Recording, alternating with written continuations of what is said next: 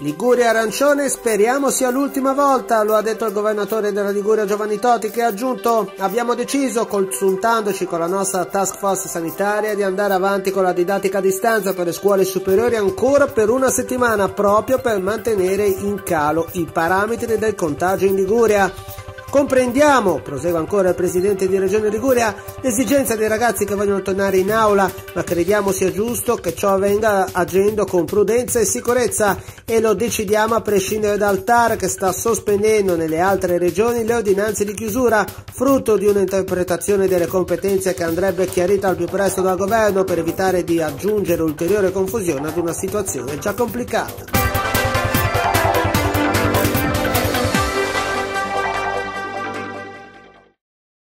In base al nuovo DPCM per i valori RT registrati, la Liguria sarà zona arancione da domani, come molte altre regioni italiane, un risultato prodotto dall'abbassamento delle soglie stabilito dal decreto approvato ieri. Ci auguriamo che sia l'ultima volta che accade sia per il progredire della campagna vaccinale, sia perché già oggi i numeri sono migliori negli ultimi giorni l'inversione del trend è significativa, con RT in calo, incidenza dei contagi sotto i due casi per 10.000 abitanti, numero ospedalizzati sotto le soglie di rischio. A dirlo il presidente di Regione Liguria Giovanni Totti che ha aggiunto Fino alla verifica del 28 gennaio comunque sarà così. Mi auguro che con i comportamenti corretti di tutti e l'aumento delle vaccinazioni, soprattutto per le fasce più a rischio, il 29 si possa tornare in fascia gialla e perché no, nelle settimane a venire si arrivi in fascia bianca.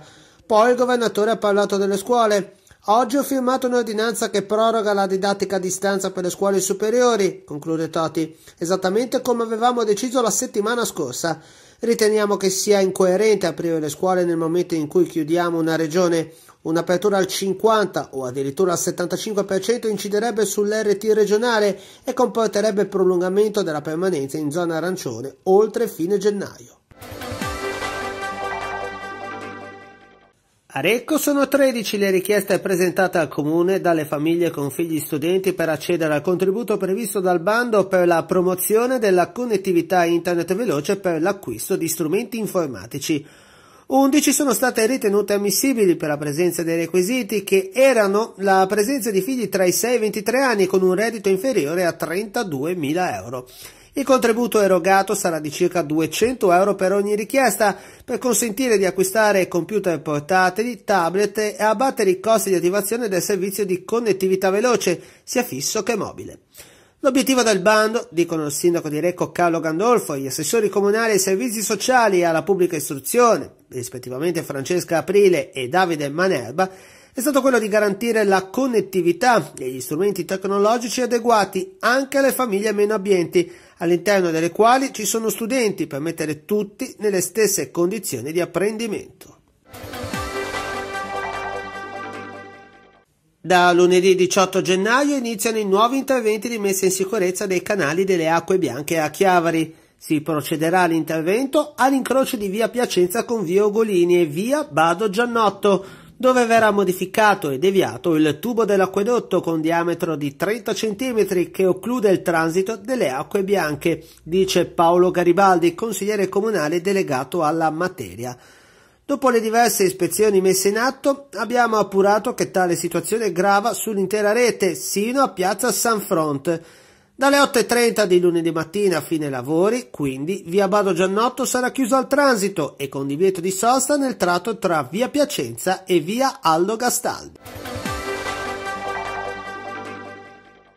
Riunione per definire la riqualificazione di un'area di proprietà comunale di via Don Minzoni a Rapallo, in cui attualmente è presente un campo da basket adibito anche a pista di pattinaggio. Il progetto prevede la creazione di un'area ludico-sportiva multifunzionale costituita da uno skate park, ovvero di una struttura in cui poter praticare attività legate allo skateboard, da una pista di pattinaggio e da una parete per arrampicata. Sono soddisfatto di come sta procedendo l'iter per la creazione di questa area polisportiva e ringrazio il consigliere comunale con incarico allo sport Vittorio Pellerano per aver ascoltato e cercato una soluzione ai desideri di tanti ragazzi della nostra città, dice il sindaco di Rapallo Carlo Bagnasco. Mai come oggi è di fondamentale importanza consentire ai giovani di praticare sport, soprattutto quello all'aperto, Grazie alle competenze dell'assessore al bilancio Antonella Aonzo e dei nostri tecnici, il progetto, nonostante sia in fase iniziale, ha già basi molto solide e potrà essere portato a termine in tempi brevi. Dall'inizio dell'emergenza sanitaria sono stati chiusi ben due uffici postali a Chiavari, quello di Via Franceschi e quello di Viale Millo. Tale chiusura ha creato disagi e ha comportato che tutta l'utenza, non piccola, parte della città, si sia riversata sull'ufficio postale di Piazza dell'Orto con code anche superiore ad un'ora da farsi in piedi all'esterno dell'edificio, come testimoniato da numerosi utenti sui social. Purtroppo, oltre il danno, la beffa. A dirlo Davide Micheli della Lega di Chiavari, che aggiunge in questi giorni molti cittadini ci hanno segnalato che la possibilità di prenotare il ticket selezionando giorno e ora direttamente sul sito delle poste ha funzionato solo per la richiesta dello SPID, ma non per tutte le altre operazioni, obbligando perciò le persone a sopportare lunghe code agli sportelli, mentre in altri uffici del comprensorio, ad esempio Sestri e Lavagna, è invece possibile prenotare anche gli altri servizi. Sul tema interviene anche il consigliere comunale Sandro Garibaldi che dice ho presentato un'interrogazione al sindaco per chiedere informazioni in merito a tale disagio per la cittadinanza comprendendo le ragioni della direzione di poste italiane di una temporanea sospensione dell'attività in un periodo limitato ed emergenziale come quello che abbiamo vissuto e che stiamo ancora vivendo, riteniamo che senza una decisa e ferma posizione in merito Chiavari possa perdere un servizio importante che copriva una parte significativa della nostra città. Assai rilevante un nuovo punto di atterraggio degli elicotteri. Per il momento è stato giudicato idoneo, una decisione che verrà tuttavia ufficializzata soltanto a seguito di un test di volo di validazione notturno. La giunta comunale di Seste Levante intanto ha svolto un sopralluogo nella zona della pista nei pressi dell'autostrada per verificare la fattibilità di inserire un nuovo punto di atterraggio per velocizzare le operazioni in caso di emergenza sanitaria nel Tiguglio. L'area prescelta, la pista di atterraggio al lato della floricoltura Garden Pastorelli, all'imboccatura di via per Santa Vittoria, non lontano dallo stadio Sivori, potrebbe rivelarsi idonea per essere inserita nella rete regionale Eli Soccorso in un sito di atterraggio notturno e o diurno perché in possesso dei requisiti richiesti dalla nuova normativa europea in materia di operazioni di volo, di recente entrata in vigore. La nuova base, in caso di idoneità, potrebbe dunque implementare il servizio di emergenza sanitaria di Eli Soccorso notturno 2021 che il servizio 118 Liguria Soccorso attiverà presso la base operativa di Riviera Airport di Villanova d'Albenga. L'attivazione di una pista di atterraggio idonea notturna prevede alcune restrizioni e differenze rispetto alle normali operazioni diurne per garantire massimi livelli di sicurezza quali elisuperfici definitive, attive 24 ore su 24, localizzate in siti adeguatamente illuminati. Nell'ambito di un servizio antidroga, i carabinieri di Rapallo hanno tratto in arresto in città per il reato di detenzione illecita di sostanze stupefacenti un 25enne con precedenti residente proprio a Rapallo. I militari nel corso della perquisizione personale e domiciliare hanno sequestrato 160 grammi di marijuana, un bilancino di precisione e la somma di oltre 500 euro in contanti ritenuti provento dell'attività illecita. Dopo le formalità di rito è stato portato nella propria abitazione in attesa del processo per direttissima. I carabinieri della compagnia di Chiavari invece hanno proceduto all'esecuzione di un'ordinanza di carcerazione emessa dal Tribunale di Napoli nei confronti di un 23enne partenopeo pregiudicato già sottoposto al regime degli arresti domiciliari presso una comunità terapeutica L'uomo dovrà scontare 10 mesi di reclusione per i reati contro la persona, contro il patrimonio e la violazione sulle norme sugli stupefacenti.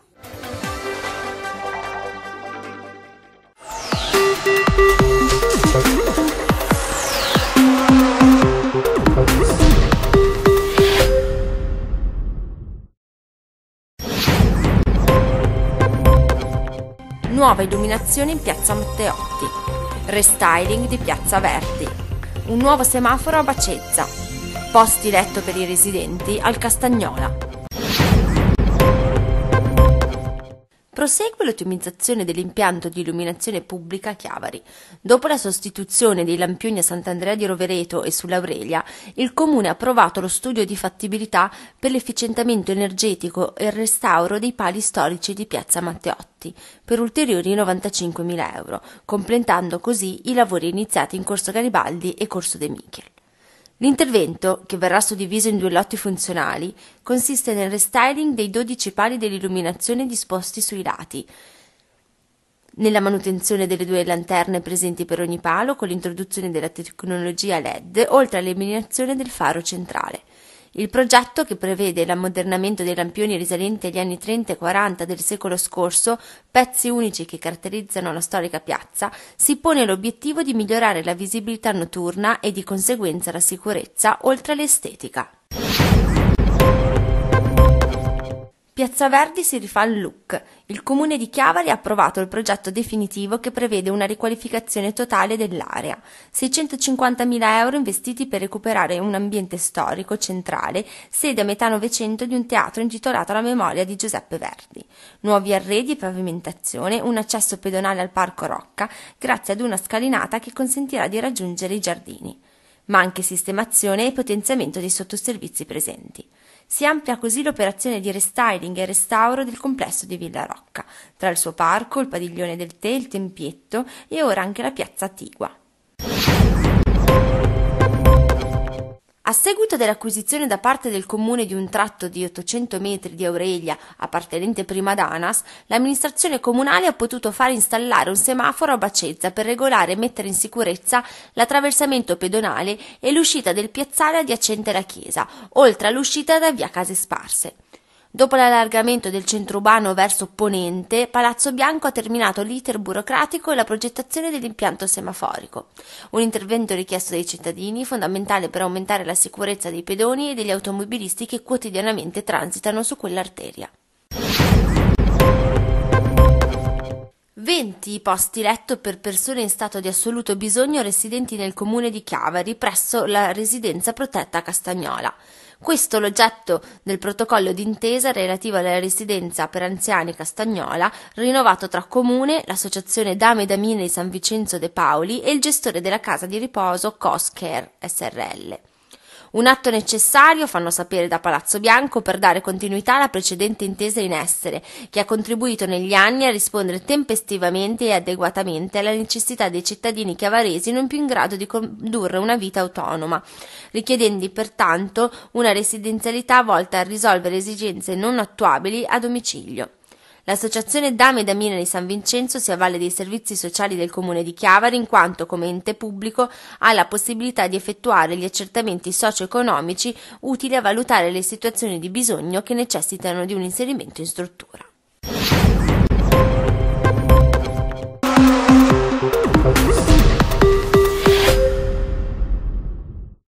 La mia intenzione era quella di offrire la cena a tutti i commissari che sarebbero venuti, prendermi carico di tutte le, le sanzioni e logicamente portare avanti quello che era la mia sanzione.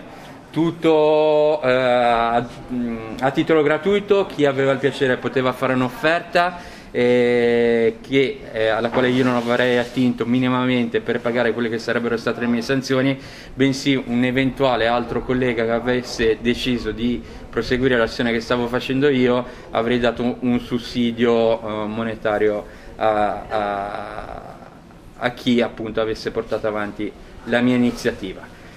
Purtroppo tutto questo non lo possiamo fare, l'avevo già anticipato che sicuramente le forze dell'ordine si sarebbero presentate. Io quello che posso fare d'ora, e lo faccio più che volentieri, come vi avrei offerto la cena seduti al tavolo, ve la posso offrire come asporto. Sei gentilissimo, però no, io personalmente almeno noi non siamo venuti per mangiare, siamo venuti per fare un'altra cosa e adesso tornarcene a casa con la sport mi sembra più... Ti ringrazio tantissimo, veramente tantissimo però... Allora io ho deciso di, di, di interrompere questa cosa perché stiamo parlando di penale. Il penale va a comportare le conseguenze per me, va a comportare le conseguenze per voi, assolutamente. Cosa ne dicono di questa cosa del penale? Eh, gli avvocati sono titubanti ancora perché sono leggi nebulose, non c'è ancora una chiarezza totale. Si parla di licenze eh, si parla di eventuali focolai, E se partisse, vi spiego molto velocemente, stasera eh, siete, sono contento che siete persone che eh, non conosco. Questo peggiora ancora di più la situazione perché nel caso stasera partisse un focolaio da qua pagherei delle conseguenze penali sia io che voi. Sì, io non voglio dimostrarlo che è partito assolutamente. metta a caso che lei domani eh, va a farsi visitare e risulta positivo al covid.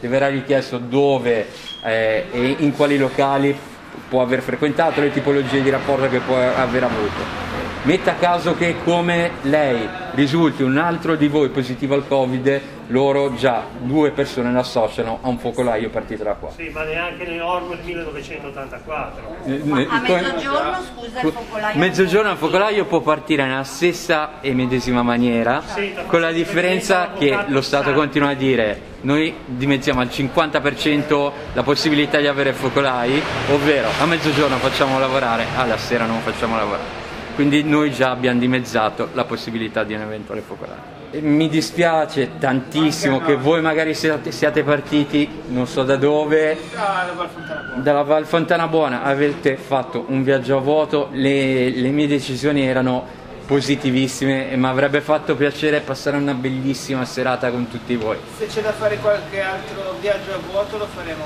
volentieri. Spero che i viaggi in futuro non siano più a vuoto. Eh, Ve lo dico con Io il cuore. un ringraziamento comunque a Lavagna perché ti hanno lasciato completamente da solo. Quindi questo è veramente una vergogna, assolutamente, perché io non penso che gli altri ristoratori, gli altri titolari di bar naviguino nel loro, me lo auguro per loro, però questa è veramente una grande vergogna per tutta la città di Lavagna.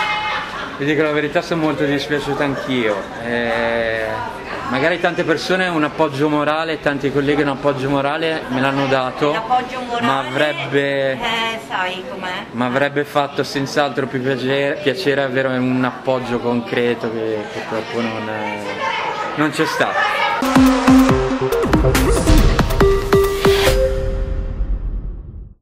Qua abbiamo un grosso personaggio, ma grosso proprio. Eh, abbiamo Massimo Solari del ristorante Mira. Noi ci conosciamo da, da una vita. E, vabbè, poi dopo parliamo un po' anche del ristorante. Va eh? bene, Ci tengo va bene. Meno male che abbiamo qui, che io ho qui Massimo, che mi fido sai più di lui, perché tu no, so che sei un grande pescatore, che tu gestisci ristorante Mira da, da quanti anni? Eh, da 140 anni, non, so, non io, anche sei miei, tu, la tua generazione. La generazione, certo. ovviamente. Però tu tuttora sei presente. Sì, e questo qua noi è un piatto che facciamo quando lo richiedono tutti, tutte le volte, al momento, ah, ecco. perché è una cosa che si riesce a fare al momento sì. eh, abbastanza facilmente, sì. nonostante tutto abbastanza facilmente. Ed è molto richiesto. Ovviamente noi, abbi- sì, noi, abbiamo bisogno delle acciughe, ovviamente nostrane, nostrane come certo. quelle che ci sono. Eh. Ah, sono qua oggi. Qual è il segreto? Dai? Il segreto, dire no, il segreto è sempre la roba fresca e poi l'olio che bisogna cambiare quotidianamente, sì. ovviamente. E. Ma anche come si infarina. Eh vabbè, c'è l'infarinatura, eh. non deve essere né molto carica né carica. carica. E poi bisogna il dosaggio dell'olio. E poi c'è la cottura che ha l'olio, ecco. Deve essere con tanti gradi, se no non, certo. non si riesce a fare. Ecco. Bene. bene. Ieri non andavano bene, oggi erano quelle giuste. Anche noi quando facciamo le acciughe all'olio cerchiamo sempre di fare quelle nostrane. A proposito delle acciughe, quelle con limone. Con limone, sì. Adesso però con questo divieto... No, si riesce a fare, fare. tranquillamente. Fare la... la mia acciuga va fatta così con la lisca. Con la lisca. Se no non... Ma no, si spapola. Perfetto. Quindi nel piatto... Nel piatto ci vanno sia le galette, le galette. sia le acciughe, sia, sia il, il, sughetto che ecco. le, acciughe, le, le, galette devono prendersi assorbire, assorbire il, il, il sugo. Però anche a Massimo, eh? Sì, vabbè. Eh, grazie Massimo. Un applauso Massimo. Lui l'ha già.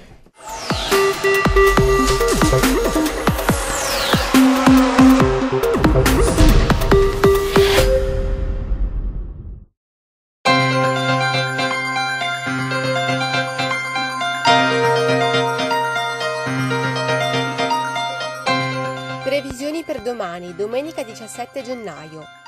Al mattino cielo nuvoloso o molto nuvoloso, con brevi e deboli piogge. Venti al mattino tra deboli e moderati da est, con rinforzi da nord-est ad ovest di capomele. Attenuazione nel pomeriggio, con nuovi rinforzi da nord in serata, partendo dai settori centrali della regione. Mare inizialmente poco mosso, in aumento a mosso per onda da sud-ovest. Nel pomeriggio fino a molto mosso per onda da sud-ovest. Umidità sui valori alti. Le temperature previste. Sulla costa tra 6 e 12 gradi. Nell'entroterra tra 2 e 10 gradi. Previsioni per lunedì 18 gennaio. Tempo stabile e in prevalenza soleggiato. Venti da nord. Mare mosso al mattino umidità su valori medio-bassi. Le temperature previste sulla costa tra 5 e 14 gradi, nell'entroterra tra 1 e 11 gradi.